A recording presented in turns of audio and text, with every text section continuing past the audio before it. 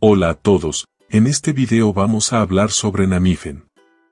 Namifen es un medicamento que contiene ácido mefenámico, un principio activo que pertenece a la clase de los antiinflamatorios no esteroideos, AINE.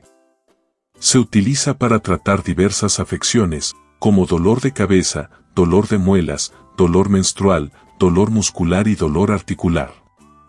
Dismenorrea, dolor menstrual intenso. Dolor postoperatorio. Namifen actúa inhibiendo la producción de prostaglandinas, que son sustancias que causan dolor, inflamación y fiebre. Namifen se toma por vía oral, en forma de tabletas o cápsulas. La dosis y la frecuencia de administración dependen de la afección que se esté tratando y de la severidad de los síntomas. En general, la dosis recomendada para adultos es de 500 miligramos a 1 gramo cada 6 a 8 horas. No se debe tomar Namifen por más de 8 días consecutivos sin consultar a un médico.